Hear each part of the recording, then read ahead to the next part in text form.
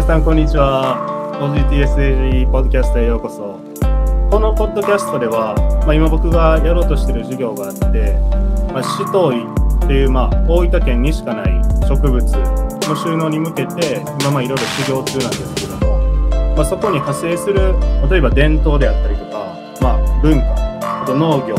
環境、あとは、まあ、プロダクトデザインとかですね、まあ、そういったところをメイン、トピックをメインに話していこうと思ってるポッドキャストです。で、今日はですね、まず第1回目ということで、農業に関するゲストをお呼びしました。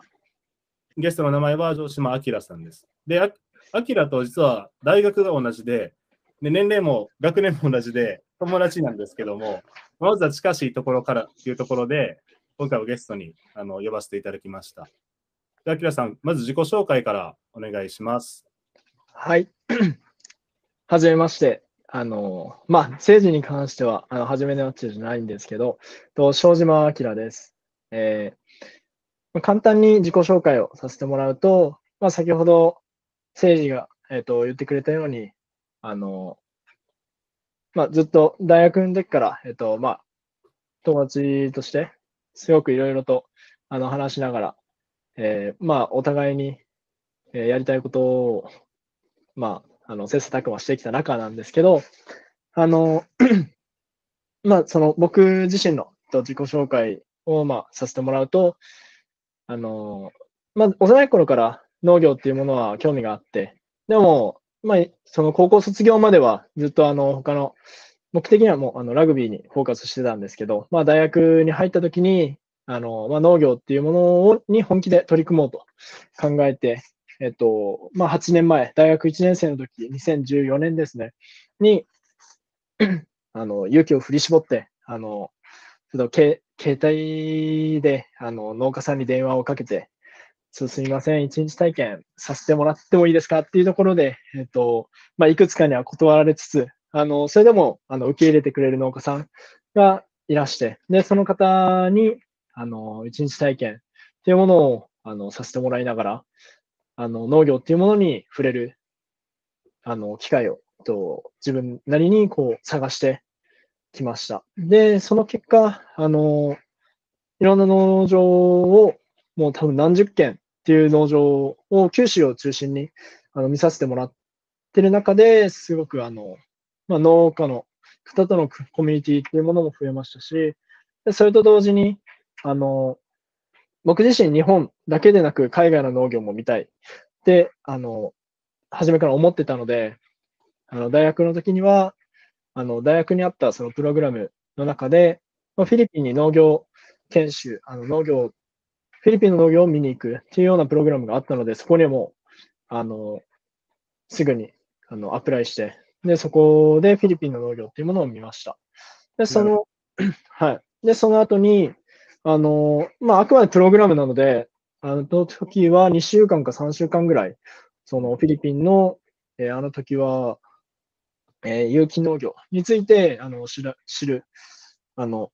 機会だったんですけど、で、それだそれを経験した後に、もっと海外の農業っていうものをその日本から離れて見てみたいっていう思いが強くなって、あの大学3年が終わり次第、あの休学をして、あのウーフというものがありまして、あの、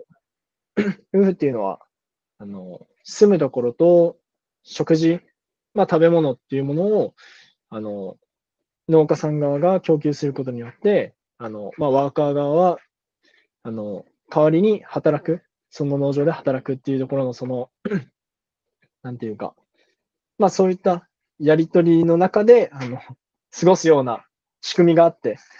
で、それで、あの、だいたい1年間ぐらい、あのニュージーランドで、えー、生活してました。それってなんか、ワーキングホリデーのなんていうか、農業特化版みたいな。そんなえっと、わけでもない、うん。いやいや、これはそれこそワーキングホリデーのビザを取って、で、その上で、あの、ウーフっていうものは、その、なんか組織みたいなのがあるのかな。なんか、そんなに詳しくはない。うん、自分で使ってなんだけど、そんなに詳しくはなくて。まあでも、そのウーフっていうものの、あの、そのウーファーその僕はウーファーだったんですけど、ウーファーっていうものに登録したときに、何ができるのかって、まあ、いくつかその、えっ、ー、と、まあ、システム、ウーフのシステムの中で、いくつかプランがあるんですけど、その中で、あの、お金をたくさん払えば、あの、すごくサポートしてくれる。その、こういう農場、ななんていうか、常にその移動手段だったり、その農場にどうやって自分でたどり着くのかっていうのは全部じ自分の責任ですし、そのそもそもあくまでこれは個人旅行で、すべてが自己責任ですっていう文書まで届くんですよ、ウーフに登録したら。で、そういうものなので、なんていうか、その留学とかとはまた違うくて、で、もしお金を払えば、もっとそのウーフ側の組織の人たちから、その、あの、サポートが受けられますよっていうのがあったんですけど、まあ、何せ僕はあんまりお金のない学生、プラス、やっぱちょっと自分で何かやっていきたい。その、何か、あの、学び、自分の中でその学ぶ中で、あの、学ぶ中でというか、自分の中でそういったチャレンジしてみたいっていう気持ちがあったので、一番低いプラン、一番値段のかからないプランにしたので、もうそのサポートとか一切なく、その、実際に何がで何をがそのウーフでできたのかっていうと、その受け入れ農家の、うん、あの、なんか、ちょっと分厚い本が届き、で、あの、まあそこから、なんかあの、住所と、なんか名前とかが書いてたのかな。まあそんなに覚えてないけど。で、それ、はい、そういうのがあって、それが届いたのと、あとそういう冊子みたいなのに、それこそさっき言った、あくまでこれは自己負担ですとか、なんか、あくまでこういう問題とかが起きるかもしれませんみたいな、そういった具体的な説明ね。っていうのが文章で書いてて。で、あとは、あの、ウーフのサイトがあって、その分厚い本だけじゃなくて、分厚い本の情報がもう、ウーフのサイトに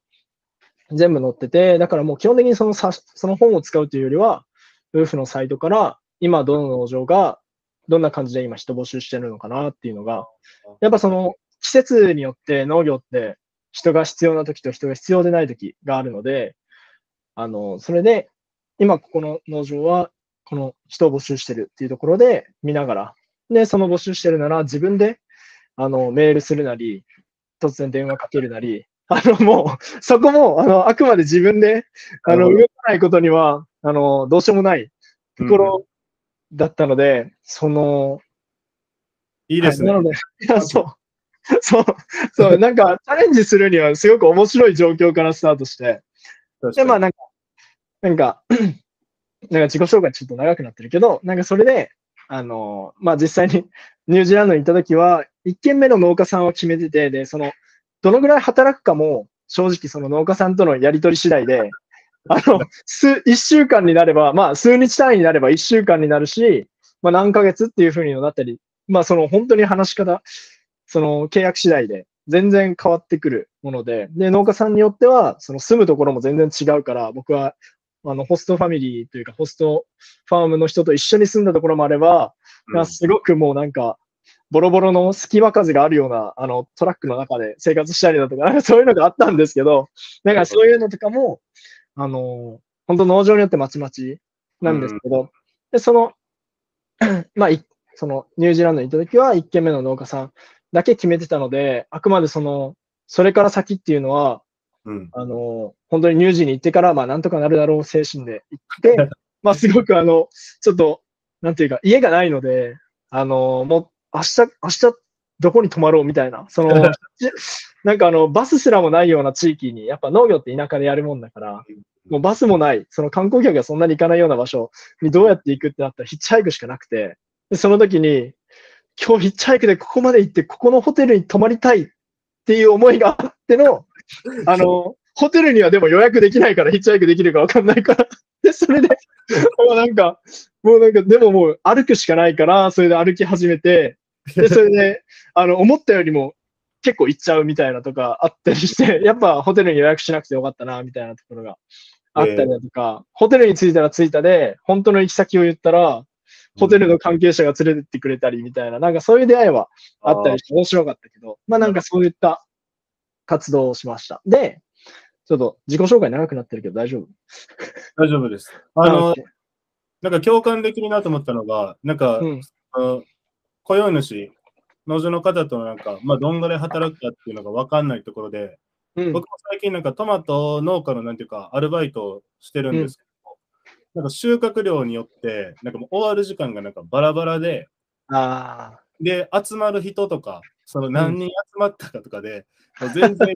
中、まあ、例えば朝、大体8時からスタートで、うんで、一応なんか3時までとはなってるんですけど、うんなんか午前中でも10時とか11時とかに終わって、なんかはいはい。1000円ちょっとだけもらって終わりとか、で逆に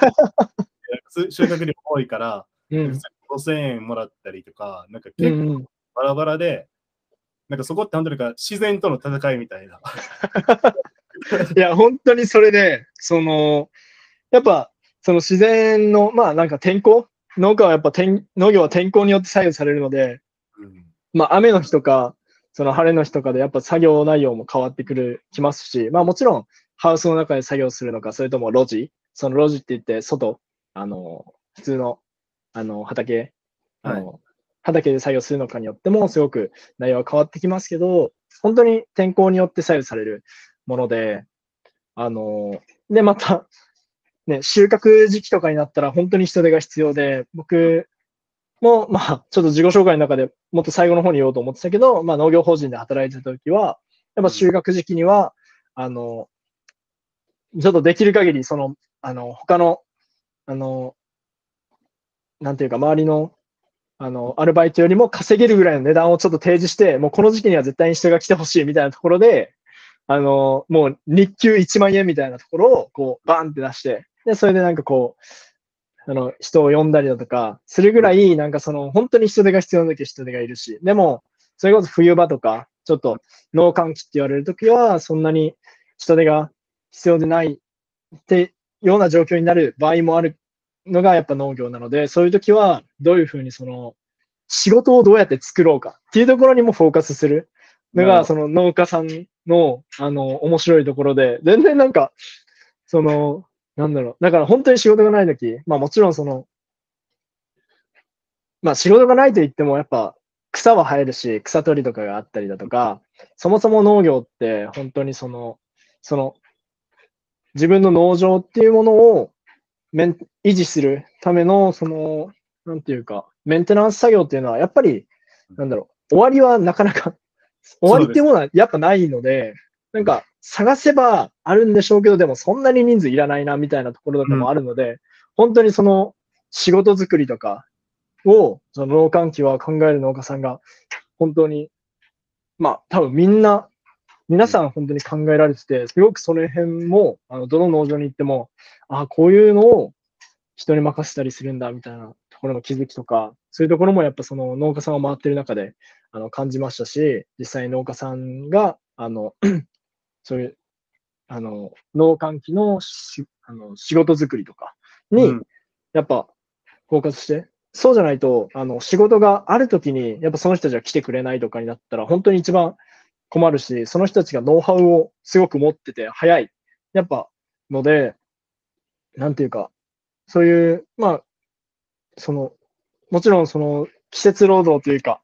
収穫の時期の労働者ももちろんたくさん呼びたいところだけど、ずっといてくれる、その、あの、ワーカーの人たちっていうものをすごく大事にしないといけない。だそうそういうのを、あの、やっぱ普通の産業だと、やっぱかん、なんていうか、まあ毎日同じように生産物を何か作るとか、なんか、なんだろう、工業製品とかだったら、その、僕はあんまりその工場で働いたことないのでわかんないんですけど、まあなんかあの、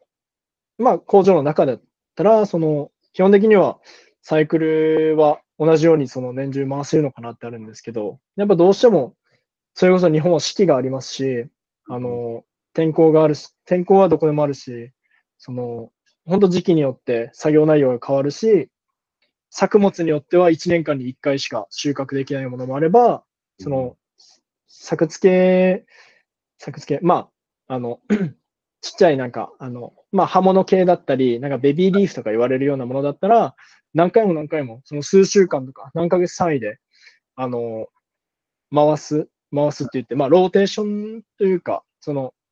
何回も種を植え付けして、ハッシュって言うんですけど、種を植え付けして、あの、収穫して、で、また、ハッシュしてみたいな、そういうのを作付けとか言ったりするんですけど、まあ、そういった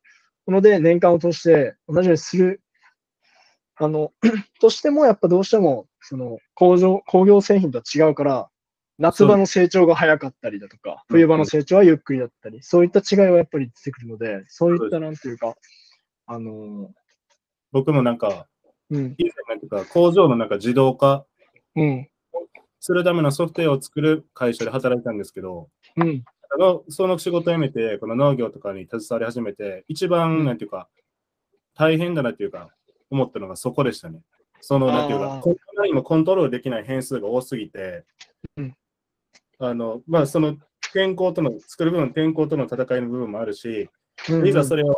あのスあのスーパーとかに卸すっていう時でも、まあ、そのうん。卸す量が日によって変わったりとか、でそれによって収穫する量も変わったりとか、結構なんかうんコントロールできない部分で、なんか変わる変数っていうのが多いんで、これ結構なんていうか、あのソフトウェアみたいには 全然いかないなっていうのが、本当に本当にそうですよね。うん。でまあそれは本当にある。うん。で、自己紹介はこれぐらいにして、次、あ、まあ、今どんな活動をしてるのか っていうところ。OK。OK です。えっとはい。えっとですね。まあ、と今はアメリカに来てて、あの、まあ、フィリピンに行ったり、ニュージーに行ったり、今はもうアメリカなんですけど、あの、今はアメリカ JEC、あ、今はアメリカのカリフォルニアの、まあ、サンフランシスコの近く、はい、ありがとうございます。サンフランシスコの近くに、え？冬めっちゃ寒くないですか？なんかだいいや。行って結構寒い出があった、ありましたね。あ、まあ、意外とっていう感じかもしれないけど、まあでも、いや、でもそんなにめちゃくちゃ、なんか冬場はマイナス、行ってマイナス8度ぐらいだったんで、いや、でもそれでも、あの、僕、福岡の農業法人で働いてた時に、やっぱあの、山、山の近くとかで、うん。あの、その行ったらやっぱマイナス5度とか、マイナス、多分本当に低い時はマイナス8度に行ってたので、まあなんか九州のその山の方とかの、まあその朝方の気温とかに似てるのかなとも思いつつ、ただやっぱりその湿度的には全然その年が、年中そんなに湿度は高くはないように感じる。その、それこそ雨が少ないので、なので全然湿度とか違うんですけど、まああと、あの、まあ地形とかも全然違うので、その天候とかも違ってくるんですけど、やっぱその気温の、その下がり、まあ低い気温で行くと、まあめちゃくちゃ寒いってわけじゃないかなっていう感じですね。なるほどです。うん。で、まあ、それで、あうんえっと、今は、あのそこのアメリカに来てて、で、えっと、来てるのは JAEC っていう、あの公共、あ、公益社団法人があるんですけど、はい。あの、そこが、えー運営、えっ、と、提供してる、その、アクトレ、えっ、と、まあ、えっ、と、29歳未満の方を対象に、19から29、まあ、ちょっとその辺の20代ぐらいの方を対象にした農業研修っていうものが世界中にこう日本から送り出すようなものがあってうん、で、えっ、と、まあ、逆にその、あの、組織は、まあ、受け入れもやってるんですけど、まあ、今回僕がアメリカにいるので、今回はその送り出しの方で、えっと、ちょっとフォーカスしていくんですけど、それで、あの、一昨年にアプライをし始めて、で、まあ、あの、アプライをしたら、結構面談とかいろいろありまして、まあ、そういったものをこう、えーまあ、通過させてもらい、えー今回、去年の8月じゃない、去年の6月からアメリカでと生活をしてます。で、このプログラム自身自体がすごく歴史のあるもので、戦後から、その戦後からずっと、うん、この行われてるもので、で、あの、なんていうか、すごくその、そまあ、なんていうか、これから帰国後もそういったその、まあ、その70年とかもう何十年って続いているので、その OB の組織もあるので、そういった OB の組織にも属することにはなる、その、す属することになるというか、まあそうするつもりなんですけど、まあそのぐらい、なんていうか、この経験をした人っていうのは、実は結構何、何百、何千人っていう人たちがいて、で、まあその中の僕は、まあ何、何十期、何十期みたいな感じなんですけど、ちょっとそこまで詳しく覚えてないけど、そんな感じになります。で、あの、簡単に僕が今まで、まあ、この1年近く、もう1年ぐらい経つので、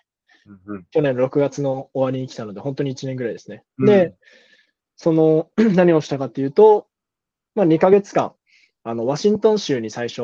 降り立って、はい。え2ヶ月間の言語学習と、あの、農業の基礎的な学習を、あの、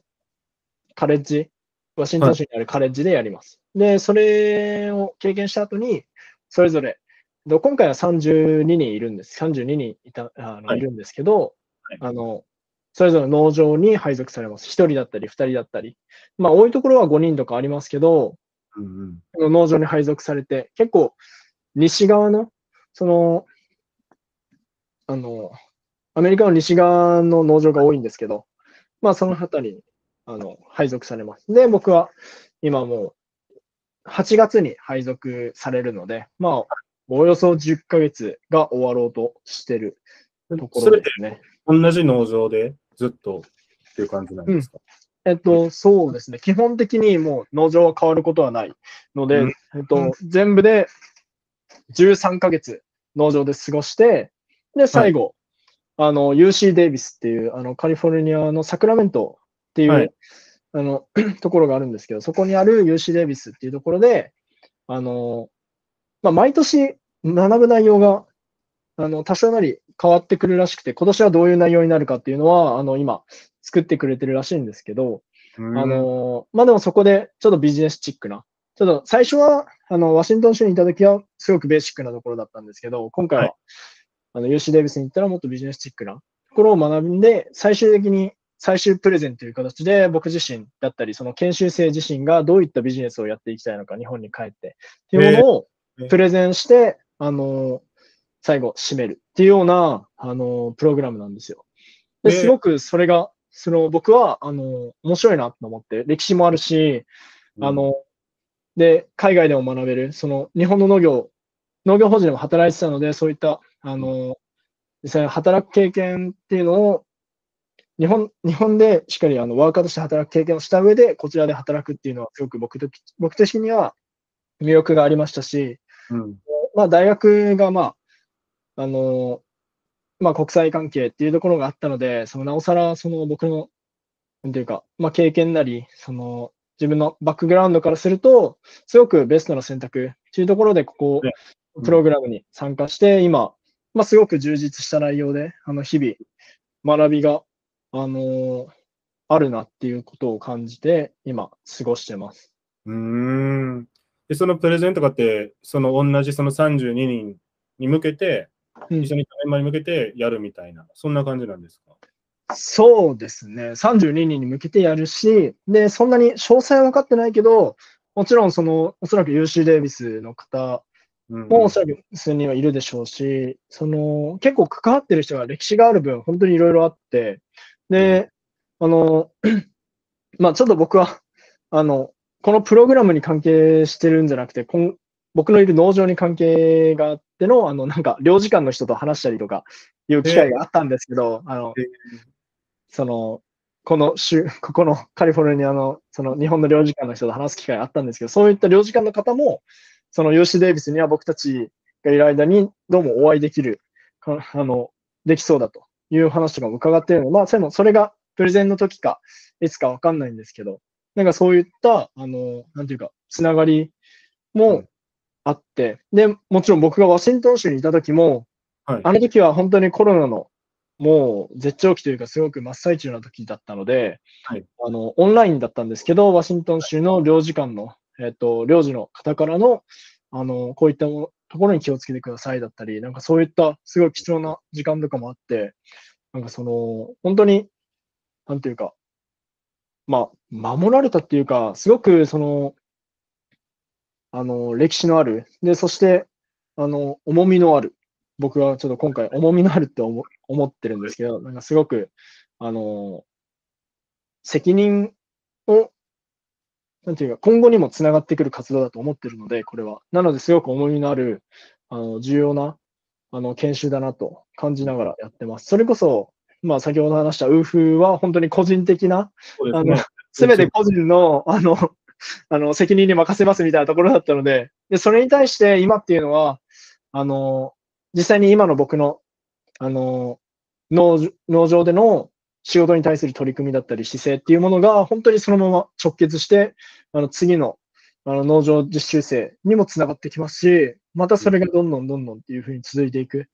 っていうところがあるので、だからすごく僕は、僕自身がどんなことに取り組めるのかっていうところで、あの、すごく結構常に考えてて、で、それこそ僕がここに来て思ったことが、もっと僕は農場に来たときに、はい。なんかここでできる学びっていうものを最大限にしたいなと考えて、うん、で、その上で何ができるのかっていうところを僕の農場主の方と話す中で、はい、あの、ピアラーニングだと。あの、同期の人たちと一体何を学んでいるのかっていうところをシェアし合うような場を自分たちで作り上げて、まあ、プレゼンテーションするなり、ディスカッションするなり、なんかそういうものを通じて、なおさらその日々の研修っていうものにまあ、意味だったり、新しい気づきだったり、そういったものを、あの、作っていけるように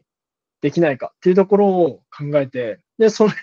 それいいなっていうか、それ絶対やろうって思って、で、そこからもう現地ディレクターの人がいるんですけど、現地ディレクターに、あの、僕、個人的にプレゼンして、こういうものが、こういうものを作り上げたいっていう思いを伝えると、はい、それいいねと。で、あの、あくまでも全部自分のあの、采配、裁量でやるので、あの、あの、現地のディレクターの方には一切あの仕事を振りませんみたいな、はい、して、で、またさらにその JAC の、その、日本側の、あの、本当組織の方にも、あの、ミーティングをそう重ねさせてもらって、で、実際にちょっとこういった取り組みをやりたくて、あの、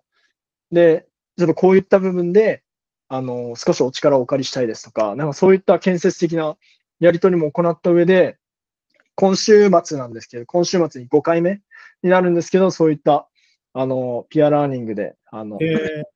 あの、そういった機会ができて、本当に、でも、研修生の中でもう、なんていうか、融資を募って、あの、みんな、その強制にしたくなかったので、なんかあくまで、本当、あの、仕事内容とかも本当農場によって違うし、その、ただでさえ、アメリカの、その、もちろん多分知らない方もいるかもしれないので、お伝えすると、あの、配属されてる地域によって時間、時差があるんですよね。なので、僕が今、今、現地の7時、4、7時、まあ、8時にもうすぐなるんですけど、はい。あの、よ夕方の8時ですね。で、一方で、他の農場、あの、は、もうここから3時間後とかにいたりするような状態だったり、ハワイにも行ってる研修生も多いので、ハワイではもっと、あの、僕より3時間早めだったりするので、そういった時差的な問題とか、日本ではまず経験することのない、その、同期との、あくまでミーティングを作る上で時差を考えないといけないっていう、その ちょっと、うん、あの、日本ではまずやらないような、あの、対応とかも、あの、その現地ディレクターとの話だったり、うん、JEC の方との打ち合わせの中でも、こういうふうに対応して、こういうふうに行っていきたいですっていうような思いをつなげ、伝えて、で、その上で、何度かその今回5回目っていうところにつながって、で、あの、本当に来てくれる同期の方たちが本当にやる気がすごくて、うん、あの、もう今、ディスカッションも結構あの、なんていうか、僕はあくまで発起人として作ったけれども、はい、本当にみんなで作り上げたいなっていう思いがすごく強くて、なんていうか、別にこの研修って一人一人が主役っていうふうに僕は思ってて、だからこそ、あくまでこうやったらもっと学びができるんじゃないかっていうところで僕がこう提案したっていうだけで、あくまでその、僕はそこであって、でも新しいことをやるから、みんなの意見が欲しくてっていうところで、どんなディスカッションがしたいですかとか、どんな風に今後やっていきたいですかとか、常にアンケート取るようにしてて、で、そしたらやっぱりこう反応も良かったりするし、いろいろと、あの、こういうディスカッションどうとか、反応もしっかりしてくれるし、実際の、そう、あの、参加して、参加した人たちっていうのは僕、あの、これ全部英語でやってるんですよ。で、そうなんですか。うん。あの、全、ほとんど日本人。でも、僕がアメリカに来て仲良くなった、あの、友達もたまに参加してくれるんですけど、その友達はもう、あの、ガスのあの、アメリカ人なんですけど、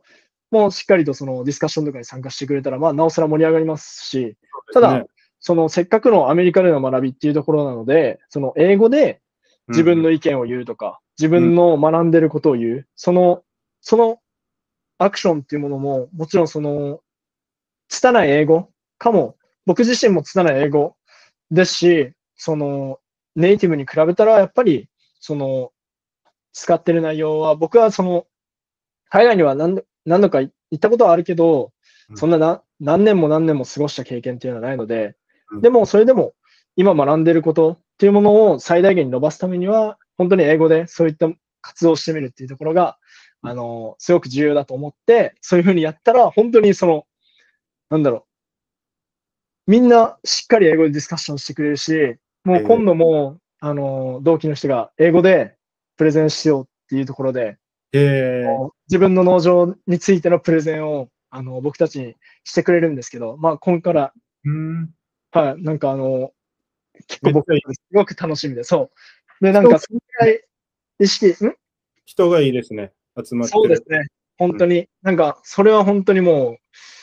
ラッキーだなっていう思いと、うんうん、その まあ、なおさらその、なんだろう、一人でできることには限界が絶対にあるけど、うんうん、やっぱ、みんなとやれるっていうところで、やっぱ力にもなるし、学びっていうものがやっぱり本当にどんどん増えていくっていうところにすごく面白みを持ってて、だからそういった、今僕はアメリカにこの研修で来てるけど、この研修をもっといいものにできないかっていうような取り組みも、あの、自分なりにやってます。みたいな。なんか、はい、疑問、質問なんですけど、うん。だってなんかみんな、なんかどんなものを作ってるんだろうっていう、まあ純粋に思ったんですけど、うん。どんな作物があるんですか？あ、えっと、そのいろんな研修先っていうところかな。はい。はい。えっとですね、この研修で最初先行って呼ばれる、はい、その、まあ、あの、や、野菜だったり、果樹であったり、畜産、もしくは酪農、そういうふうに、あの、先行で、あの、アプライが分かれてて、で、僕が今回先行してるのは野菜ですね。はい、でも、あの、本当にそんな感じで分かれてるので、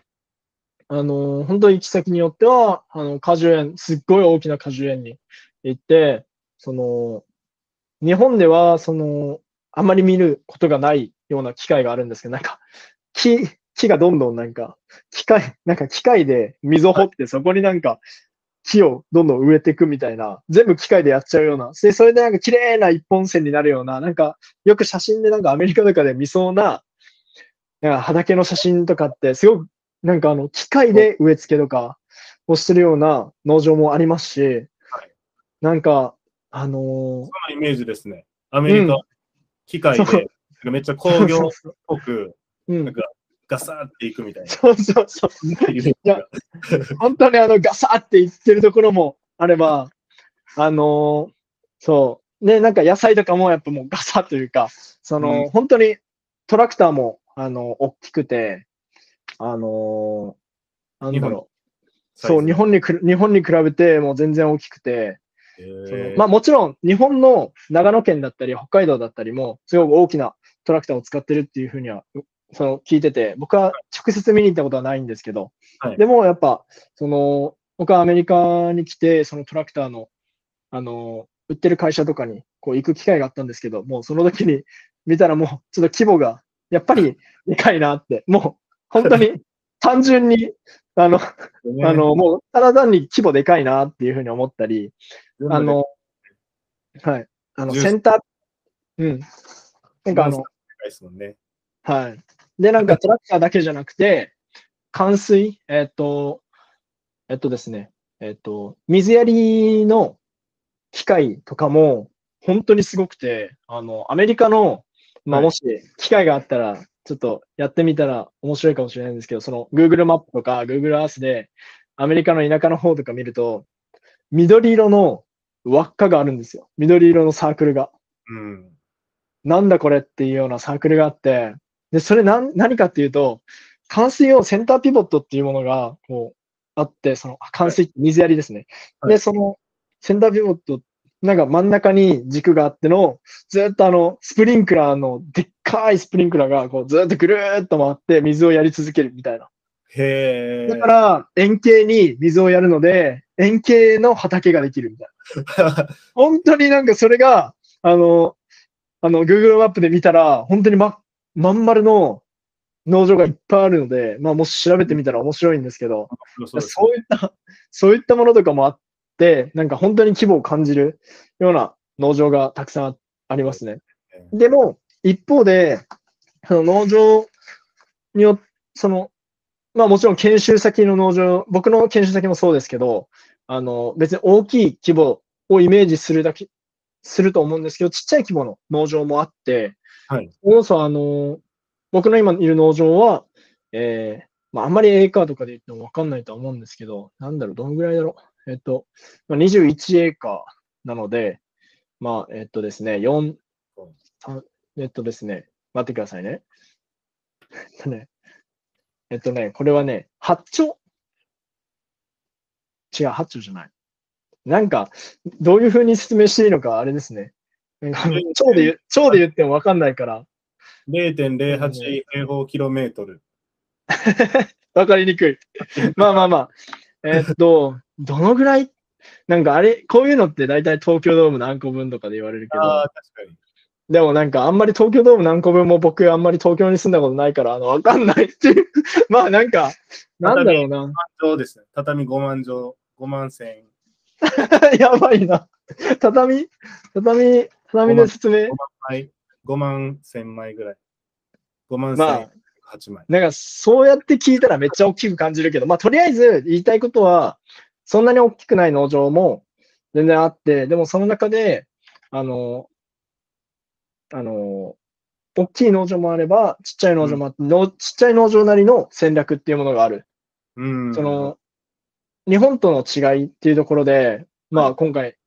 まあ、なかなかあの話していきたいところであったんですけど、ちょっと言うの忘れてますけど、日本と海外の農業の比較っていうところをまずお伝えしたいのがあって、で、アキラが、まあ、日本も経験したし、で、フィリピン、ニュージーランド、アメリカっていう、他の他国の農業っていうのを見てるので、で、それ日本と違って、まあ、どういうところが違うのっていうところをまずお伝えしたいなっていうのがあったので、今めっちゃ、そこを話していく感じですね。そうですね。はい。いや、本当に遅くなったんですけど、まあでも、ちょこちょこと、この日本との違いを少しずつさっきから言ってましたけど、まあ今、言うのとしては、まあ日本では、あの、まあ JA だったり、あの、まあいろいろ、卸先はまあ基本 JA がまあメインだったりするんですけど、まあでも、あの、市場っていうものがありますよね。日本だと。あるんですよ。まあ、知らない方もいるかもしれないですけど。で、市場にも、その JA から市場に卸したりだとかも全然、その、そういうのも普通に、なんていうか普通だし、その、市場っていうものを通して、その市場に、市場、でも市場も市場だけど、まあ市場を通して卸売りの人が買って、卸売りの人から、あの、えっと、まあ。いろいろと小売業者の方たちに行って、まあ、消費者に届くとか、なんかそういった、あの、つながりが、えっ、と、まあ、サプライチェーンがあるんですけど、それじゃなく、アメリカは市場っていうものが、あの、日本でいう市場がなくって、もう、本当に直接、あの、どこかのレストランだったり、どこか、あの、工場だったり何かに契約して栽培をするとか、あの、実際にファーマーズマーケットっていうものが、もう何千っていうぐらいあるんですけど、はいこのアメリカの中で。で、そのもう何千、まあ8000、何千だったかな。ちょっと僕のブログに、まあ後で言う、ブログにはちょっと載せてるんですけど、まあ、いうのは、あの、まあ、たくさんあるファーマーズマーケットで、えっと、まあ出店して、そのまま消費者に直接売るとか、なんかいろいろとあるんですけど、なんかその売り方、戦略っていうものは、本当に大きい農場だったら、それこそそういった工場だったり、あの、もう直接その農場から、あの、農場から出ていく量がすごいので、まあうんいろいろと、その、もう会社との、もう、と B2B やり取りだったりするんですけど、もう B2B だね。うん、で、でももう、なんだろうちっちゃい規模の農業っていうと、それこそあの、B2C っていうか、まあ本当にカスタマーに対して直接やり取りうん。もしますし、まあそれこそ今で言うとオンラインとかは、やっぱ今後の流れとしてあるのかなっていうのもありますし、まあこの、今僕が働いているところでもそういったものに着手し始めてる。のもありまして、あの、実際にまあレストランだったり、そういったところに、まあ、ブランド、ブランドマネジメントというか、まあ、こう、あの、を戦略として取って、まあ、あの、どういうレストランに卸すとか、なんかそういうところを戦略的にやったりする、そのなるほ小さい農家だ農業だからこそ、あの、取り組めるやり方っていうものも、アメリカでは本当に強くあって、ど。で、なんかその、市場がないからこそ、こういった戦略、その経営戦略、その、を、すごくなんていうか、あの、フォーカスしてるっていうところがうん。見えるなと思います。それ面白そうですね。うん。ただ、一方で、その僕が感じるもの、そしたらはい日本も、その、もともとは、あの、JA とかがその、その主流って言ったんですけど、はい。あの、まあ、理由っていうのは、そもそも戦後の時代に、はい。あの、みんなに食料が行き渡らないから、はい。みんなに食料が供給できるように、まあ、JA の前の組織、前、前、む昔の組織が名前違ったんですけど、なんかそういうところに集めてのみんなに供給するみたいなところがあったので、なんかその名残がずっと続いてるみたいなうんところもあるんですよ。はいまあもちろん JA、それだけじゃなくてもう今、共済だったり、いろいろと着手してるビジネスはあるんですけど、まあそもそもその 農家からのそのできた生産物っていうものをみんなに供給するような感じだったので、なんていうか、それ、だからもう農家さんは作ることにフォーカスして、もうあとは供給は JA にもお任せみたいなところもあったんですけど、今はそれこそ、あの、50代だったり、まあ、60代、その、なんていうか、まあ、もともとその、もっと年上の方たちをもっとフォーカスしてる人たちはいましたけど、なおさら今は自分で売るっていうところにどんどんフォーカスしていってる農場が増えてるなっていうのは日本でも感じるところにあったので、うん。そうですね、。でももうこの動きは絶対にその、もう結構ずいぶん前から起きてるので、まあ、それは、あの、すごく違いがアメリカと日本で全然違うみたいなところじゃなくて、ただアメリカはもともとからそういった自分で売るとか、そういった、あの、カルチャー、文化がある。日本は、ううん。ん、日本は最初は結構みんなで全部に回していくみたいなところから移行しつつあるような、まあもう実際に移行はしてるけど、なんていうか、そういった根付いてるカルチャーっていうものではないのかなっていうところ。まあちょっと言葉にするのはちょっと僕今難しいんですけど、その、わかります。あのあうん。の現に僕が今バイトしてるところも、うん、例ではなくて、全部自分で組み立てるのが好きっていう、うん。さんで、うん。もう何を育てるからか、もう作物、どの作物を育てるからか、もう全部戦略がもう始まってて、うん、この作物だったら利益をこんぐらいっていうのを全部もう考え、見通した上で、全部最初から自分で組み立てて、一番、なんていうか、やりがいというか、うん面白いと思えるもの、うん、フォーカスして、もう一切、なんていうか、JA 通さずに、自分で、あの、小売先巡って、買い、うんあの、販売、まあ、営業ですね。うん、でっていうようなところが、いや、全員僕が働いてるところがそういうところで、うん。なんかそっちの方が、なんかすごく面白いなっていうのは、あうんうんうん個人的に感じましたね。ただ、あの、それで、あくまでこの、僕の意見っていうところで思ってるのは、その、勘違いしてほしくないのは、JA っていうものが、あの、いい悪いで僕が話してるんじゃなくて、その、なんだろう、JA を通さずにその自分で売るとか、なんかそういうものをいいっていうふうに僕は捉えてるわけじゃなく、もちろん JA って組織がすごく大きくて、本当に、にその、なんだろう、地域によっても JA のスタンスって本当に違うことが見えてきて、働いてる中で。だから、すごく農家さんに寄り添ってる JA もあれば、あの、すごく JA の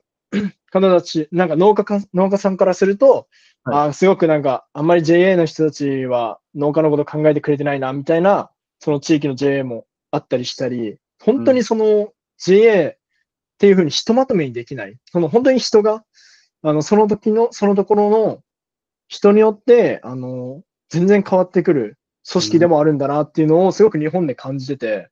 だからそのあくまでいいところもあるし、その、うん、なんていうか、今のは農家としての発言みたいになったけど、その、なんていうか、すごく農家さんに寄り添ってる JA が、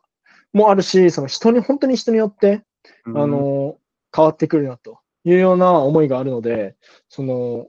一概にいい悪いっていうものは、僕は全然、あの、感じてなくて、それこそ、あの、JA に下ろすっていうものは別に、あの、それが戦略的に取ってるものであれば、僕はすごく、その、その戦略っていうのは、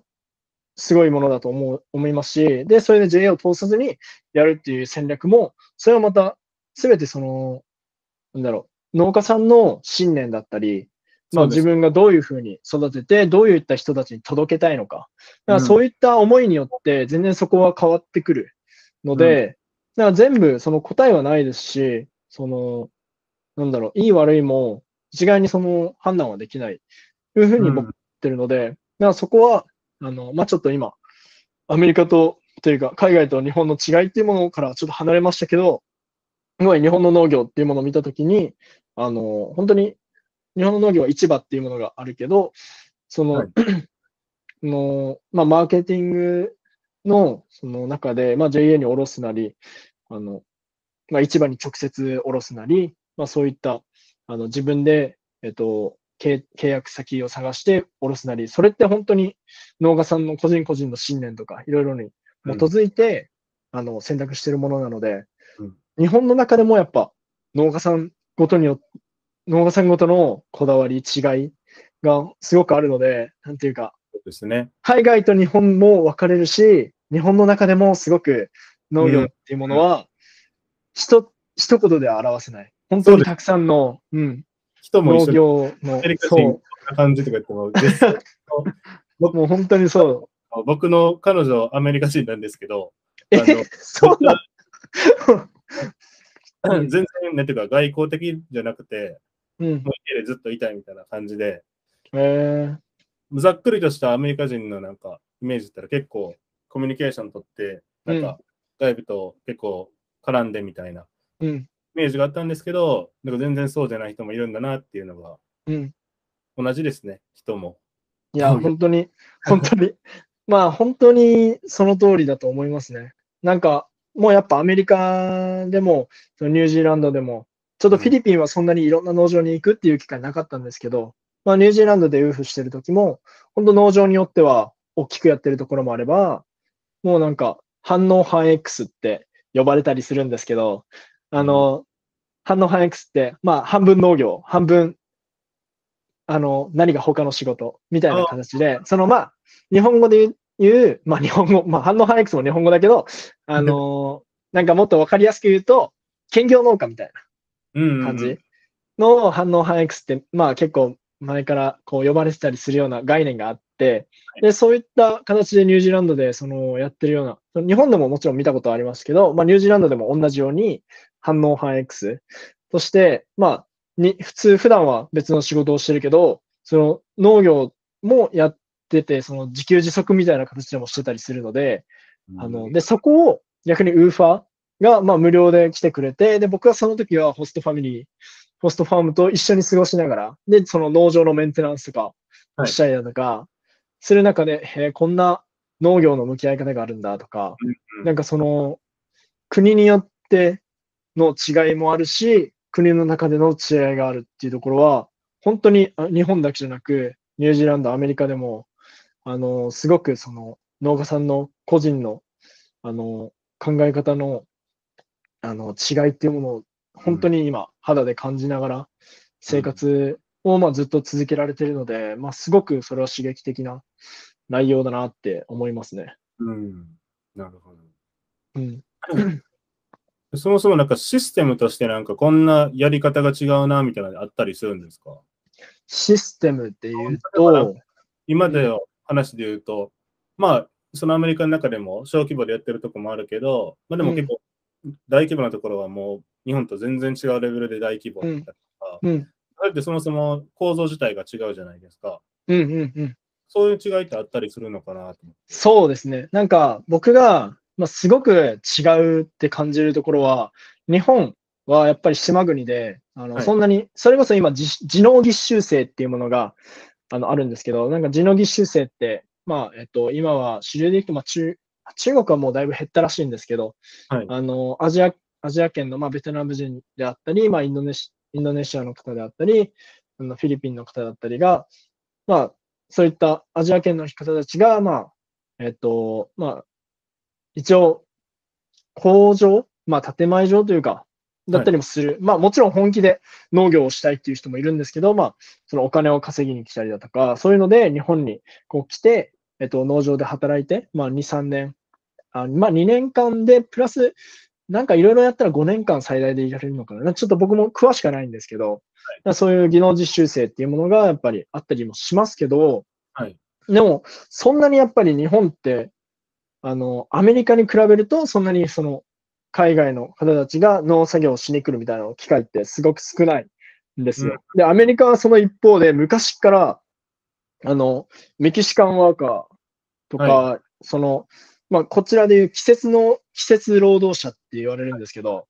あの、そういった最初の方に話した内容で収穫の時期とか人手がどうしても必要だったりするんですけど、そういった時期を、その、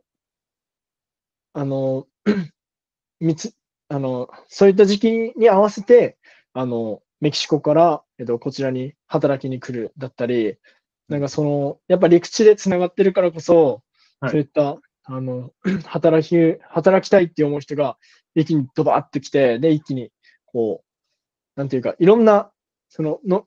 アメリカ自体も広いので、まあ、いろんな農場に行ったりだとか、その、本当に、なんだろう、場所によっては、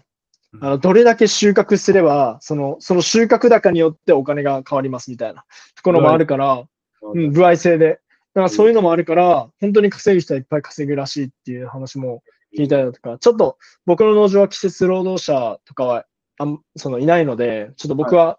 詳細はわかんないけど、あの、それこそ同期の行ってる農場だったら、そういった本当に季節労働者がドバってくるような農場もあったりするので、話を聞いてると、やっぱそういう、なんていうか、あの、普段見てる人たちは全然違う人たちが来るっていうところで、まあ、もちろんその自分の持ち物とかに気をつけるとか、なんかそういった身近な問題も起きるんですけど、なんかその、本当に日本との違いとしては、うんあの、ワーカーがいろんな地域から来て、で、その人たちは英語を話せなかったり、その、うんなんていうか、なんていうか、コミュニケーションとかもやっぱ結構変わってくるんですよ。その日本だったら基本的に、その技能実習生の方たちって、日本語を学ぼう、学んで、その来るんですよ。そのはい日本語の学校に行ったりして来る。で、日本、その農場で働きながらみんな日本語で話しかけるから、日本語が結構上手になって、あの、普通に話せるようになったりして変えられたりするんですけど、うんもう、結構その、アメリカはやっぱ多文化なのもあって、その、まあ、なんだろう、スペイン語圏、そのメキシカンの方たちだけでも、そのコミュニティを作れたりするような場所でもあるので、なんかすごくその、そうですよね。うん。で、今僕の住んでるところもすごくメキシカンワーカーの人たち多くて、うんで、も、あの、普通に英語を話さずに、あの、働いてる、あの、ワーカーさんも僕の農場にはもちろんいますし、でもちろんその、その辺、その辺一帯にその、なんていうか、基本的に、あの、なんか、メキシコの方たちがそのスペイン語で話してるので、なんかあの、僕、すごい来る前はみんな英語を話してるのかなとか思ってたんですけど、全然そういうことじゃないのかなっていうのが感じて。で、だからそこは、うんシステムとして、その日本のシステムってすごくみんな日本語にこうフォーカスして、で、そうやってコミュニケーション取りながら、あの、仕事をするのに対して、アメリカってすごくいろんな国の人たちが来てるからこそ、で、特に、あの、農業とかメキシカンワーカーの方たちが多かったりするので、で、そういった 方たちと一緒に働いてると、全然英語使って コミュニケーション取らなかったりも全然あるので、でもその代わりその農場主が、あの、スパニッシュ話したりだとかも全然あったりして、なんかその、すごいなんか、すごいな、みたいな。あの、完全に日本じゃなかなか経験しないけど、でも、その、今後、日本を考えると、日本ではどんどんワーカーっていうのは減っている、その、超高齢化社会でどんどん、あの、まあ、農業ってやっぱり肉体労働ですし、正直きつい作業っていうのはあります。まあ、僕は 全部好きなんで、もう全部やりたいんですけど、やっぱりきついからこそ、あまりみんなやりたがらない仕事になるんですよ。で、そう思った時に、やっぱその、そういった時期の実習生であったり、その、なんだろう人口自体が減っていくので、もっと、その、日本人じゃない方たちが来た時に、どういうふうに仕事ができるのか、どういうふうに仕事を管理していくのかっていうところは僕の中でアメリカに来る前に考えてたところではあるので、今後10年とか何十年っていうのを見据え見据えたときに、はい。なので、まあ実際に今見てる、その、ここまでの海外の、その、ここまでアメリカほどミックスするような、そのいろんな文化がミックスするような状態にはならないかもしれないしけど、わからないけど、でもそうやって日本語だけにフォーカスせずに、その、どういうふうにコミュニケーションを、その、どこの言語を使いながらとか、でもしくはもう、2カ国語、3カ国語なんかその、使うかもしれないし、なんなんていうか、そういった、あくまで準備、心の準備というか、まあ、そういった、あの、マネジメントの方法があるんだっていうところを、あの、すごく今見てますし、そのシステムの違いはすごく感じますね。それすごいいい学びですね。いや、本当に、いや、本当にいい機会だなって思ってて。で、うん、ニュージーランドは、あのー基本的にみんな英語 で働いてたので、本当になんかイメージ通りな感じで、なんていうか、働いてて、やっぱあそこも島国だからこそ、そんなにまほどあ、なんていう、かなんていうか、うん、なんか技能実践、実習生みたいな人たちも全然会ってませんし、あ、いや、でもまあ、ウーフで来てる人たちはいましたけど、はい。でも、ウーフで来てる人たちは結構、その、なんだろう、オーストラリアの人だったり、ヨーロッパの人だったりがいたので、基本的にみんな英語で話しますし、はい。その僕、ウーファーで集まった時は、なんかみんな英語でコミュニケーション取ったりだとか、にまあ、全然普通にあったので、なのでそれが、なんだろう、英語圏だと普通っていうふうに思って、こっちに来たら、いろんな言語が飛び交ってる。それこそ同期の他の研修先だったら、もう、メキシカンじゃなく、どこだったっけな、スワヒリ語とか、なんかそういう、うん。なんか本当に全然違う言語で、その、働いてたりだとかするっていうのを聞いて、うん。ああ、なんていうか、その農業を、まあ、する中で、その、まあ、日本語だけにフォーカスするんじゃなくて、もっといろんな国のワーカーさんも今後、その、雇っていくって考えたときに、はい。もっとその、せっかく僕も海外でこうやって経験してるので、はい。だからもっとその、日本語を向こうに学んでもらう、向こうの方たちに学んでもらうじゃなくて、こちらからのアプローチで、向こうのその来てくれた、あの、ワーカーさんたちが働きやすいように自分が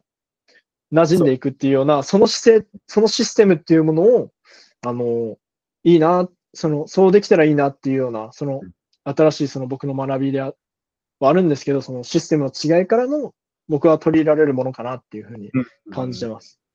そうですね。うん。でアメリカの、なんていうか、その住むところ、うんその農業に従事あの仕事にしてる人たち、まあ、季節労働者の方とか、うん。全然違う文化圏からアメリカに来て、その農業農場で働いてる方がいらっしゃるっていう話が続きで、なんかどんな人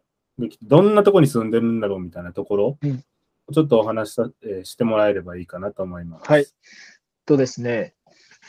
とまあ、どんなところっていうところで、まあ、あの、僕が住んでるところは、まあ、トレーラーハウスって言われるような場所なんですけど、はいまあ、その中でも僕が今住んでるところは本当にあのかなり大きめなところに住ませてもらってます。うんまあ、なんていうか、うん、説明が難しい。えっと、僕のは違うんですけど、結構よく見るのは、あの車の後ろにひっつけれるようなタイプのモモモバイルハウスというか、モービルハウスというか、トレインティングスにも出てきたトレーラーハウス。かな？なんか、そのストレンジャースイングスのそのトレーラーハウスは見てないけど、まあでもそういったトレーラーハウス、まあちょっと、なんだろう、うん、説明は難しいけど、まあそんなに広くないやつもあれば、僕みたいにちょっと大きめの、もうなんか一軒家みたいなところに住ませてもらうところもあれば、うん本当ホストファームと一緒に住んでる同期もいますし、ただあの、まあ、季節労働者とかにフォーカスしたときに、あの、その日本の技能実習生って今どういう場所に泊まってるのかからちょっと説明したいんですけど、はい。あの今日本って結構その田舎の方は特に、まあ、人口がそもそも、まあ、過疎化とかよく聞きますけど、その減ってるので、空き家がやっぱ増えてきてる。うんとか、そんなにその、なんだろう。東京とかみたいに、やっぱその、家賃が高いわけじゃないから、うん本当その、農場で働いて、アルバイト代を、アルバイト代まあ、研修代、研修費を、その、まあ、研修で稼いだお金で、まあ、やりくりしていける。で、その上で、あの、よく聞くのは、その研修費で何百万、100万以上貯めて、その、家族、帰ったと、家族と一緒に住む家を建てるとか、だからそういうのはよく聞くんですけど、で、そんな感じで、その自分でその稼いだお金をやりくりできる。うんその余裕がやっぱりあるんですよ、日本だと。うん。そんなに土地が、その、その住むところが、あの、すごく高いわけじゃないので。でもそれに比べて、アメリカって、特に僕の今いるところ、シリコンバレーにすごく近い。もうもはやシリコンバレーなんなんじゃないかな。まあそこまではないか。シリコンバレーじゃないんですけど、まあでも、海沿いとかって特に高いですし、僕のところ海にすごく近いので、もう、あの、高校の農場しかも、先ほど言ったように、その大きい農場でもないですし、でどうしてるのかって、その、すごい、その、あ、土地もすごい高いんですけど、どうしてるのかっていうと、その農場が、そういったトレーラーハウスっていうものを、もう農場の、あの、中であったり、その農場が、農場主が、えーあの、持っているプロパティ、その、その、土地。に、そういったトレーラーハウスを置くことによって、そういった、あの、の労働者の人たちが、まあなんていうか、あの、す、住める場所っていうものを提供することで、あの、家賃っていうものを低く抑えつつ、うん。で、やっぱそれ、プラス、あの、やっぱ働いている中で、その、お給料が発生するけど、そのお給料でやりくりできるような仕組みをその農場が整えていく。そのシステムが、すごくその日本に比べて、あの、農場の、あの、負担はいで、まあ、ちょっと今回は言お言わせてもらうんですけど、ちょっとその負担が大きいように感じるんですよ。やっぱりそれは土地の値段が高いから、その普通に、あの、どっかしらでそこら辺で、あの、賃貸で借りたりだとか、そういったことをしてると、農場が払える、その基本的にやっぱ最低賃金だったり、まあそれよりちょっと高かったりぐらいしか、やっぱり農業ってそんな、なんていうか、IT だったり、そういったあの、IT じゃないな。まあなんかテック関係、そういったなんか、まあそれこそシリコンバレーに近いというところで、まあ Google だったり、Apple だったり、あの、マイクロソフトだったり、そういったもう、すごい世界的な大企業みたいに稼げるようなものではないので、その、やっぱどうしてもそういった、その、なんていうか、まあアルバイトの、まあちょっと、代みたいな感じになるんですけど、それじゃあちょっと生活できないような、もう環境に今もう土地とかがなってきてて、うん。で、まあ、それがまあ、すごく問題だったりもするんですけど、で、そこでの農場でのアプローチっていうのは、そういった自分でトレーラーハウスっていうものを、あの、保持して、で、そこを農場に、あの、の農場がワーカーに貸し出すと。うんで、それのプロパティのやっぱ、その、まあ、トレーラーハウスとかの、あの、修理とか、あの、メンテナンス作業っていうのもやっぱもちろん農場が負担しますし、それはその日本でやったらやっぱりその不動産会社とかなんていうか、あの、他の業者さんがやっぱり入ったりできるけど、やっぱその、アメリカって結構、その、まあもちろん他の業者の人の経、その、がその見てくれたりもするし、でもその、なんだろう、あの、基本的な、あの、メンテナンスは、すごくその農場のワーカーの人たち同士でやったりだとか、まあする部分があって、その辺はすごく、その日本との違いだなっていうのをすごく感じます。もともと文化的になんていうか DIY がすごいなんか根付いてますうんようんうん。ね。いや、本当に DIY はすごい多いなと思ってて、でそれこそ、えっと、僕の暮らす地域はメキシカンの人がすごく多いって話をさっきしたんですけど、あの、ファーマーズマーケットって、なんかあの、僕は、あの、ファーマーズマーケット、すごい農家の方たちがお店出して並んでるみたいな、そういうのだけだと思ってたら、この間行ったファーマーズマーケットって書いてあったんですけども、そこ、本当にメキシカンの人しかいなくて、そう 何が売ってたかって、あの、なんかあの、メキシカンの人たちが、あの、服とか、へ食べ物、で、あと、あの、おもちゃとか、あの、道具その、はい。ハンマーとか、その、はい。なんか DIY できるような、その、はないんか、材料とかがもう、なんか、地面に置かれてたりとかもして、え ここどこだみたいな。え、これファーマーズマーケット？本当みたいな、そういう場所もあったりして、でも本当なんか、そうやって自分で、あの、DIY するような文化っていうのが、やっぱ昔からあるからこそ、なんかそういった、まあなんていうか、うん、だからそれホームセンターだけじゃなく、そういったファーマーズマーケット、そういう、あの、仮設で組み立てたような、その、テントとかのところにそういった DIY のグッズが置かれてたりだとか、するのを見てると、なんかすごく、あの、日本じゃまず見ないな、みたいなところを感じますし、そもそもファーマーズマーケットさえそんなに少ないので、うん。なので、なんていうか、その辺の違いもすごく面白いなって思いました。そうですね。すごい面白そうです。行きたいです。写真。いや、本当に、もう本当にあの、びっくりするぐらい、あの、もう本当、みんなスペスペイン語ばっかり話してるから、僕全然理解できなくて、あの、ちょっと場違い感がすごかったんですけど、あのしっかりあのタコス食べて帰って、あタコスです。なんかそういった、あの、そう、ちょっとトレーラーハウスから派生したけど、まあなんか、あの、農場が管理するうんその施設っていうところは、あの、ワーカーに対して、あの、管理する施設っていうのはすごく日本との違いを感じます。うん、なるほどですね。うん。で、うん、そうだな。そう。で、まあちょっとこれで、あの、一旦ここで、あの、あれで、フィリピンで。なんだろう。どうやって繋げたらいいんだろう。もう、ごめん、ここははしょって。ピューみたいな音入れるわ。やば。オッケー。サイズリみたいなやつ。ああ、オッケーオッケーオッケー。はい。まあ、フィリピンの、ちょっとフィリピンの内容全然話してないから、まあ僕がその衝撃的だったことをまあいくつか、そはいのちょっと比較、まあ日本と海外の比較っていうところでちょっと言いたいなっていうのがあって、はい。まあ日本で農業、その考えるとやっぱトラクターで畑を耕して、まあ野菜植えて、まあ育てるうんみたいなところがすごくまあメインだったり、まあもちろんクワを使ったりとかもありますけど、その、なんか、まあでも基本的には今はトラクター。まあそれこそクボタとか、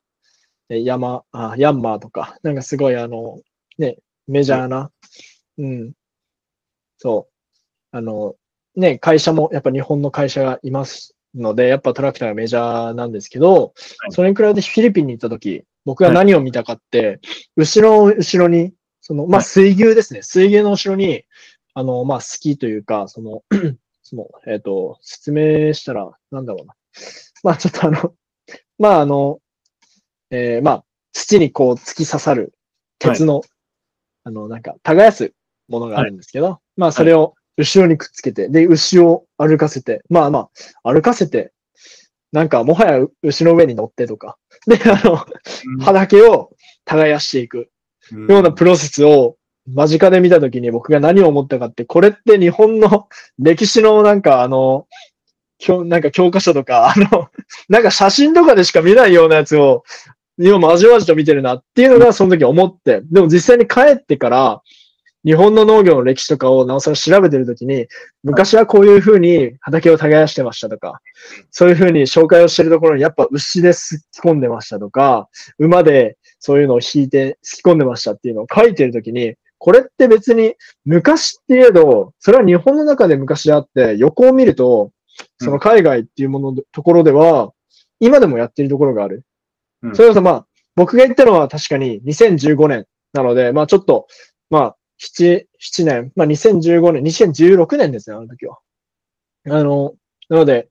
まあその、まあ6年前とかになりますけど、でもそれでもやってるところを見るっていうのは、その、もう、古代とかじゃない。その、今も現代も、やっぱそういうふうにやってる、その地域っていうのは絶対にあるっていう、その、その価値観がすごくあの、崩れ去った一面でもあったので、ちょっと僕はこれをお伝えしたいなっていうふうに思ってて、で、その、やっぱその、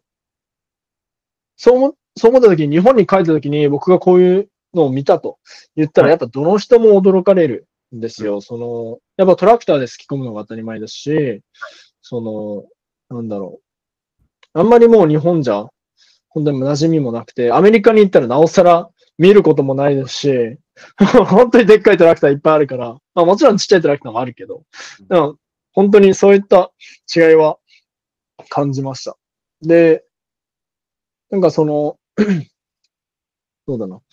なんか、で、水牛とかを買ってる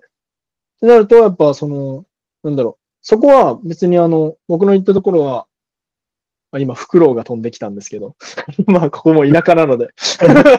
あの、フクロウが飛んでました。あのなんか、うん。なんかその、そこは、メインは野菜を育ててるけど、やっぱその畑を耕すためには、水牛とか、その、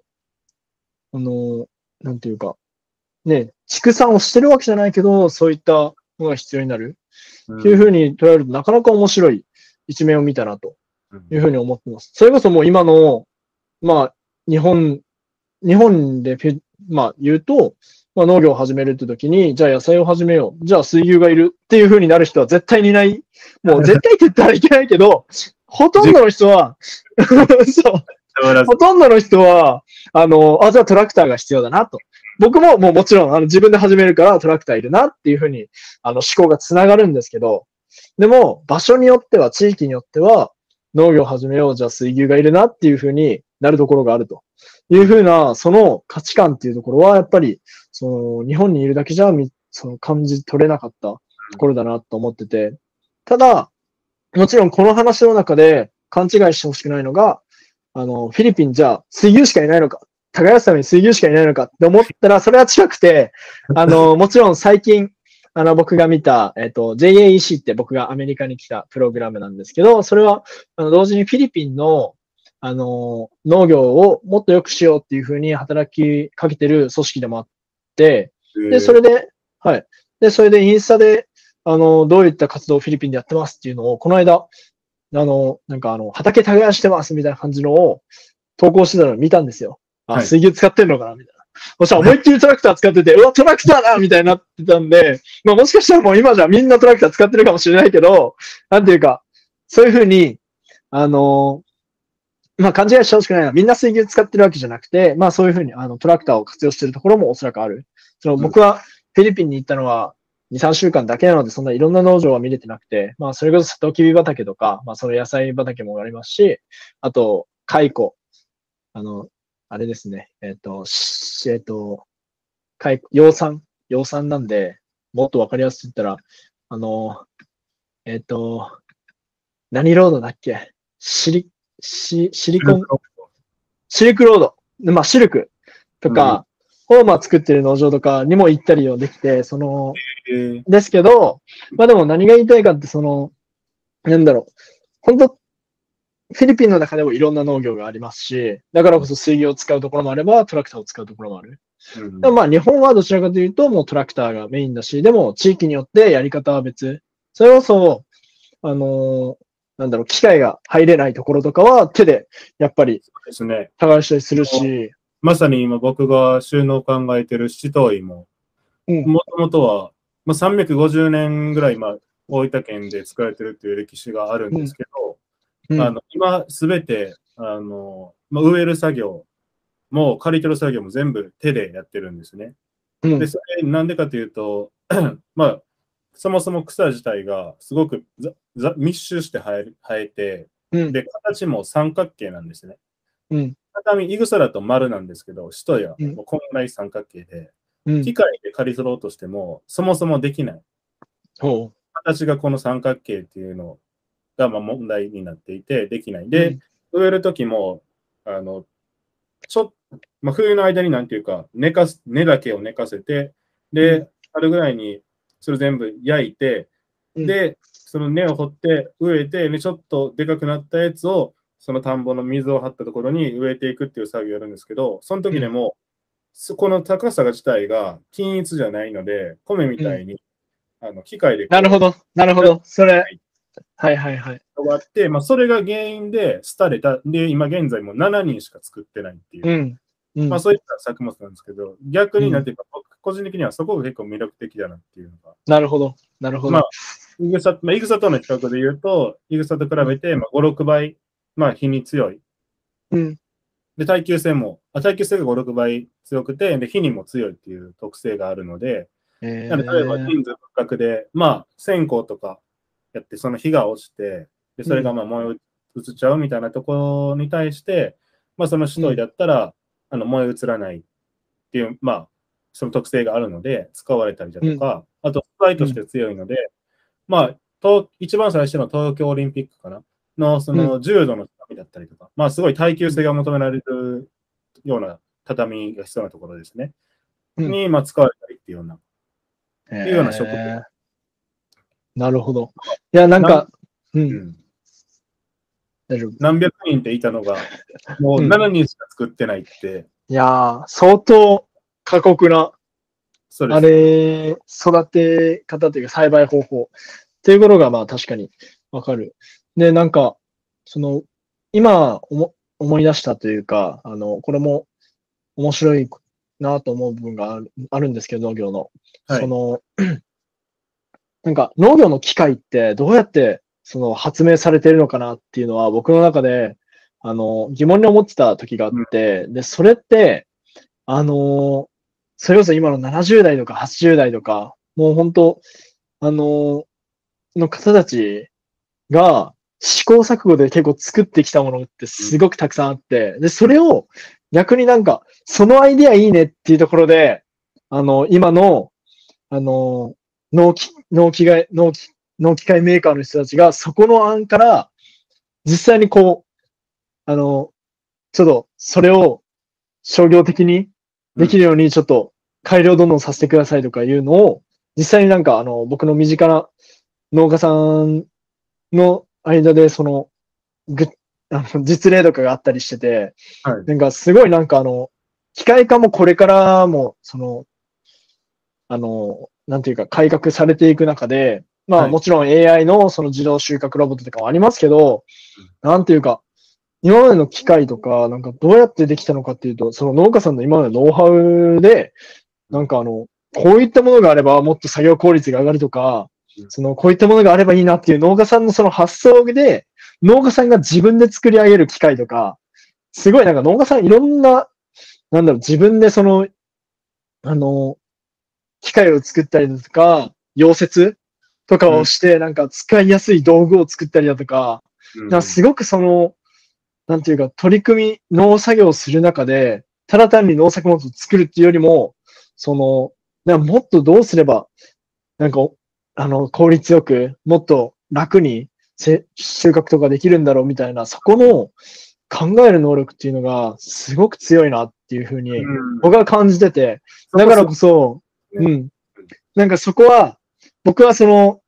ちっちゃい時から、あの、福岡の市内の方で育ったんですけど、本当になんかあんまり別に田んぼとかも近くになくて、うん。なんていうか自分で機械とかも触ったことなければ、なんかあんまり図工とかも得意じゃなかったんですけど、こうやって農家さんのところに行ったりだとか、農業に、農業法人で働く中で、やっぱ機械のメンテナンスであったり、うん。なんか自分、なんか僕どこにオイルさせばいいんだろうとか、なんかオイルって、なんていうか、うん。まあ、油を、その、させばいいんだろうとかも全然わかんないような状態から教えてもらいながら、あ、うん。機械ってこうやって動くんだとか、うん。その草刈り機のウィーンでこう、はいはい。こう手で動かすやつが、なんかあれって、まあ、ツーサイクルエンジンとか言われる、まあ、なんていうか。そうそうそう。だからそういうのの仕組みって全く知らなくてうん、でもなんていうか、そんな、僕の知らないところで作られてるものって、なんかどっかの会社が、すごい資本とか出して考えてんのかな、みたいな。うん。ところを、なんかもう昔から農家さんは自分で考えて、なんか自分で機械組み合わせたり、自分でなんか機械を作り上げてみたいな、その根気強さみたいなところを、なんていうか農業に関わる中で感じて、うわ、そこは見習いたいし、かっこいいなっていう、その農業のかっこよさ、ちょっと海外との違いみたいなところから離れたけど、その僕の好きな農業のその部分っていうのの一つとして、そうやって昔から農家さんが考えて考えて作ってきた、そのノウハウとか機械とか、そういったものをこう見ると全部考えられてて、うん。本当なんか、頭いいなって、なんかすごいなんかそれを感じて、そう、そういうところが、すごい好きですね。なんか昔からあるのに、僕じゃ発想できないし、作れないようなものを、みんななんか、そこら辺の農家の人たちが作ってるみたいな、うん。すげえっていうのを、なんかすごい感じたりするのがあるから、うんうん。そういった、なんていうか、そう、そういったところの農業は、なんか、新しいものもいいけど、そういった古いやり方っていうところから見つける、もうなんか、すごいノウハウっていうのはやっぱり、まあちょっと、すごくあの、プアなボキャブラリーになったけど、なんかあの、そういった、あの、まあ古き方法っていうところから学べるところもすごく面白い。農業はすごく面白いなと思います。そうです僕もそれ結構、なんか、なんていうか、元から作ったりとか、なんかそういうの結構好きなタイプで、うん。で、それでシトイとか、まあ今、んバイトでトマト農家やったり、関わっていくだけで、その、まあ、アキラも同じようなこと、すげえ発明家多いな、みたいな。そう、多い。発明家が多い。マジで、マジで僕は発明家多い。結構なんか、僕は結構そこがなんていうか、面白い。めちゃ、一番思っ、一番に思うかもしれないですね。うんうんうん。うん。いや、本当に面白い。考えたみたいな。うん。なんか、あと、あとやっぱ、こう、どっかの会社が作ったような製品も微調整自分でこうやってなんかどんどん改良して、で、だからこそこう、なんていうか、あの、その機械会社の、農機会社の人たちが、その農家さんに、あの、実際に試作品みたいな形で、そのお願いして使ってもらって、で、どんどんなんか、アイデアをぼし、なんかあの、聞くみたいなのは、本当によくある方法なんですけど、農業、まあ、多分どの機械農業も、機械業者もそうなのかもしれないんですけど、農業でももちろん、そういうのがあって、で、僕が以前いた農業法人でも、もちろんそういった形で、えっと、ある会社の製品っていうのを使って、その、なんだろう、そこの会社の人たちが、どうですか？とか聞きに来たり、あとたまに農作業を手伝ってくれたりとか、だからそういう関係も持ってるような農場だったので、うわ、こんなのがあってんだなってうん。思いながら、ですごく関係性もいいですし、なんか、あの、なんかすごく、その、僕も農業を始めたら、なんかこういうことにつながってみたいけど、まあ、なかなかそれは、なんだろう、新規就農者としてできるかはわかんないんですけど、でもそういうのは将来的にできたら、きっと面白い、その、なんか新しい機会だったりが、あの、自分も携われる可能性があるって考えると、すごくかっこいい産業だなって思うし、なんか楽しみだなって思いますね。そうですね。うん。ちょっと農業と海外っていうところを離れたけど、うん。うん。農業の楽しみというところで。じゃあ、まあ、日本と海外の農業の比較っていうのは、これぐらいにして、で、うん。最後に、まあ、アキラがやりたい農業、うん。日本に帰ってから、どんなことをしたいかっていうのをお願いします。えっとですね、僕は、あの、日本に帰ってからは、もう来年、というかもう今年の12月の末に、もう日本には帰るんですけど、はい。で、まあそこから、えー僕は佐賀県の吉野ヶ里で新規収納をします。はい。あの、自分がもう農家になります。あの、すごい楽しみなんですけど、まあ、あのーなんだろう。まあ、吉野ヶ里で何でするのかっていうところは、僕の、まあ、あの、僕のまあお父さんのあルーツが佐賀県にある、佐賀県の吉野ヶ里にあるんですけど、まあちょっとそこで、あの、まあ僕の祖父が、あの、農家だったんですけど、もう、はや、もう何年も前にちょっと早く、早く亡くなってしまって、で、その後誰も、ちょっと、あの、継がずに、まあ土地だけ僕の、あの、祖母が、あの、持ってて、でももう、あの、僕のお父さんの、まああの、兄弟も、あの、誰も農業するつもりはないので、もう貸し出してるような状態だったので、はい。それは、あの、僕はしかも農業に興味があって、自分で農業をしたいっていうところで、で、まだ祖母も生きてる間に、あの、しっかりとその、なんだろう、自分の土地っていうところを、あの、なんだろう、しっかり祖先に、あ、せ祖先に、まあわ、祖先、まあ自分の、その孫に、その、あげれるっていうところをこう見せれるのはすごくいいのかなっていうところと、うん、なんていうか、吉永自体も、僕は、あの、すごく歴史的にも、あの、日本にすごく、あの、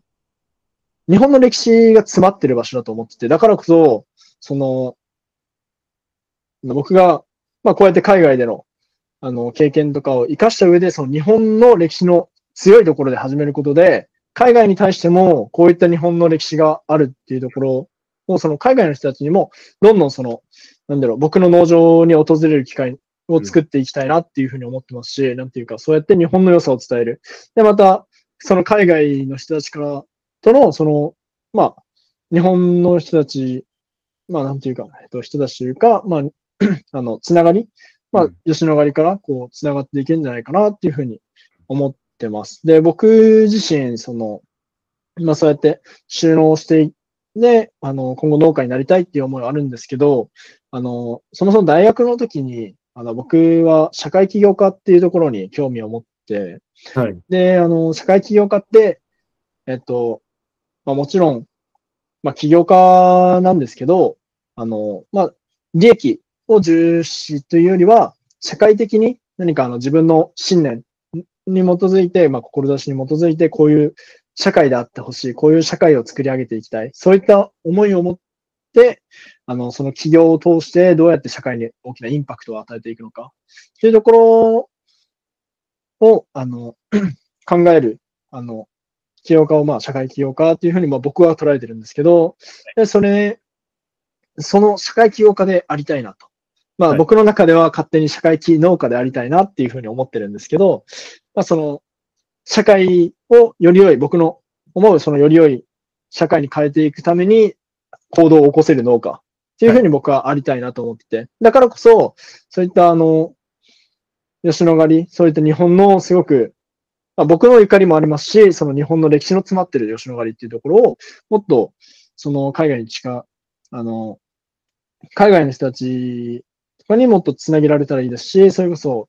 まあ、吉野ヶ里からもっと派生して僕は佐賀県っていうところとか、あと九州、まあ、もうもっと超えれば、まあ、もっと言えば日本とか、なんかそういったその、まあ、農業っていうところを見たときに、うん。あの、もっとなんていうか、今まではすごく地域で、もちろん大事、その農業は地域に根付くものなんですけど、僕はその、もっと、これからはそのネット社会とか、その、で、海外とつながりやすい環境になっている中で、こんな風に、今僕はその政治とどうやって会話しているのかって、アメリカと日本でこうやって電話でつながってるけど、こういったものっていうのを、その、使えば、その地域だけに根付かずに、あの、もっと広く、その、農家同士、海外の農家さんとコミュニケーションを毎日のように取れたりする世界にできると思いますしはい、だからこそ、あの、なんだろう、地域にも根付くし、なんていうか、僕が言いたいことは、例えば、うん。あの、まあ、僕が吉野ヶ里始めたときに、はい。この、まあ、吉野ヶ里の気候なり、地形なり、そういったのを考慮して、僕はこういう対応をして、なんかこういった作物を育てますっていうところを、まあ、こう、主張してるというか、まあ、はい言ってるときに、じゃあ、それの時に何か海外とか別の地域のところで同じような問題に何か取り組んでる人がいたとして、あ、その対応策とかいいねとか、うんうん。なんかそういったものって今までって地域の中で、あの、関係してるだけじゃ、なかなかその見えてこなかった、あの、遠方の対応の仕方、遠方のやり方、ノウハウって本当に今までのその会話の中で言ったように、その国によっても違えば国の中でも違うっていうところを考えたときにもっと視野を広げれば、あの、もっとその農家さんのやり方っていうのは、なんていうか、もう100通りもっと広がっていくんだろうなと思うので、だからそういったその、僕がせっかく始めるのであれば、そういった海外との農家さんとのコミュニケーションっていうところも、その、始めていきたいですしうん、まあ実際に今、その、どういうふうに始めるかっていうところも考えながらやってますし、あの、ね、そうやって、えっと、まあコミュニケーション取るだけじゃなくて、その日本に、まあ来てもらうなり、まあ日本にいる、あの、海外の方とか、まあマイノリティの方っていう、あの、方たちにもその農業っていうところ、まあ、僕の行う農業っていうところで、その身近に感じてもらえる機会とかを、そのどんどん作って、もっとその社会に、なんていうか日本の社会とか、まあ世界的な、まあなんていうか、あの、僕がフォーカスしているところっていうのは、はい。あの、将来的には本当に大きいところなんですけど、僕の志としては、あの、世界の食料の、食料の危機とか言われてる、まあ、なんか、飢餓とか、そういった問題とかにアプローチできる農家でありたいなと、僕は思ってて、うん、だからこそどうやってアプローチするのかって言った時、考えた時に、あの、まあ、えっと、農業、自分で生産したものを海外に送る、その輸出とか、はい、輸出とかをするっていうのは一つあるんですけど、はい、それだけじゃなく僕が、その、本当にやりたいなって今思ってるところは、まあ、そうやって自分で農業をやっていく中で、いろんな国の、そのノウハウとかをみんなでシェアしちゃって、こう、農業っていうものの、の、あの、そもそもの、あの、なんだろう、みんなの考え方とかを、こう、総集めにして、はい。あの、なんだろう、本当にいろんな地域、あの、日本は雨が多かったりするんですけど、このカリフォルニアの僕がいる場所では雨が少なかったりとかするんですけど、本当にいろんな地域にいろんな問題があって、で、それで、どうしてもやっぱりあまり作物を育てにくいとか、いう場所があったりもするんですけど、なんていうか、そういった食べ物がない、できにくい地域、まあなんていうか、紛争とかもあったりして、食べ物が作れないとかもあるんですけど、だからそういった、あの、食で困っている地域にどうやって農業的なアプローチで、その農家がその地域の食をこう変えていけるのか、その僕が送った作物じゃなくてそこにノウハウをこう入れたりだとか、こういった方法で、あの、何とかできないかっていうような、なんかそういったアプローチを今後、僕は何十年、何十歳、ちょっとなるかわかんないんですけど、僕はそういったふうに考えてるんですよ。なので、その、まあちょっと今、すごい大きなことの説明になりましたけど、まあ、それをするためにも、まずは、あの、自分が、自分が農家として、まずは一流というか、一人前に、まずは、あの、しっかりとした基盤を、農業法人を構えて、で、その中で、その海外のいろんなノウハウとか、まあ、海外だけじゃなく日本のノウハウっていうのを、こう、いろんな農家さんとやり取りする中で、で、自分も共有していく中で、あの、新しい方法だったり、新しい対応、対処法だったり、新しいコミュニティだったり、そういったものを作って、で、あの、で、もちろんその日本の良さっていうものを、その伝えつつ、でも向こうの、その海外の方たちの良さっていうところを僕も受け入れつつ、で、そういった、あの、世界的な問題っていうところに取り組める農家っていうふうなところを僕は目指して今後やっていきたいなと思ってます。うん、で、まあちょっとあ、まあでも、これはもう宣伝になるけど、もう大丈夫かな。そうですね。うん、アグリステップ。そう。はい。まあちょっと、僕はアグリステップっていうところ、まあアグリステップっていうブログを、あの、3年前からやってまして、まあ最初は本当にちっちゃいところからもうやってたんですけど、それをやってる理由っていうのが、まあ何か社会起業家として僕が何かあの、まあ、足がかりとして何かできないか、何か社会に貢献できないかっていうふうに思ったときに、あの、まあ、自分がなぜ農業に入るときに電話から始めて、そうやってアプローチしたのかって、うん、あの、まあ、そもそもしないで育って農業から遠いところ、もちろん祖父が農業してたけど、そんなに手伝ったことも一度もないですし、もう全然、あの、なんていうか、地域の人たちも知らないような、感じだったので、もう幼い時は。なので、もう、なんていうか、本当に僕はつながりがない中で、はい、でもちょっと勇気を出して電話をしてみたっていうところが始まりだったんですけど、そう考えると今ってすごくその農業と農農家さんだったり農業っていうものが、あの、市内に住んでる人とか若い人たちからするとすごく遠いものに感じてて、だからこそ、その僕は、あの、どちらも経験してる、その、全然遠い状態から、もうすごく今は、もうどっぷりと使ってるような状態にいて、でもその、その間に、どうしても、あの、入りにくさを感じる、その思いっていうのはすごくわかわかるので、だからこそ、その、その、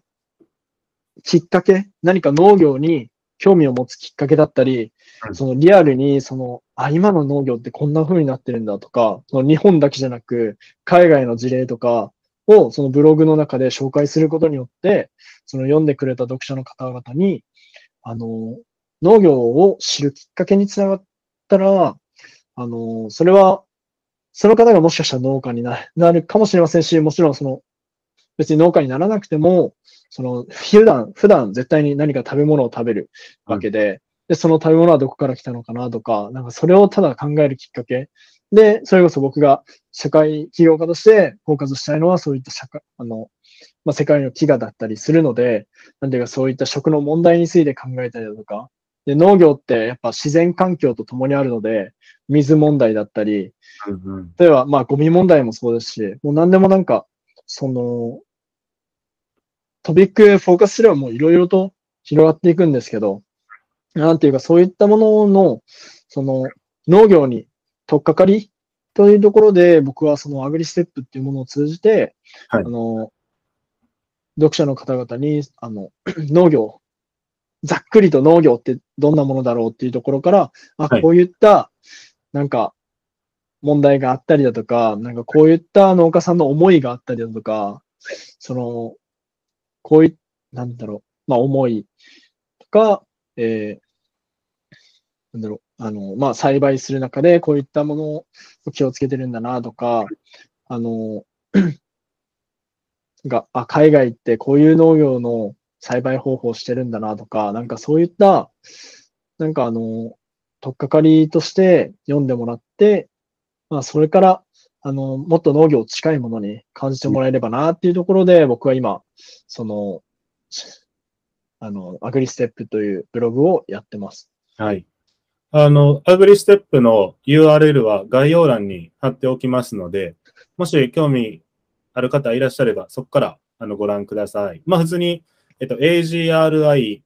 STEP で検索しても一番に出てくるので、そこからでも、カタカナも、カタカナも OK です。カタカナ OK カタカナも OK。カタカナも OK です。ということみたいです。うん。じゃあ、あありがとうございます。本日はありがとうございました。ありがとうございました。応援してます。ありがとうございます。頑張ります。はい。あの、ポッドキャスト頑張ってください。ありがとうございます。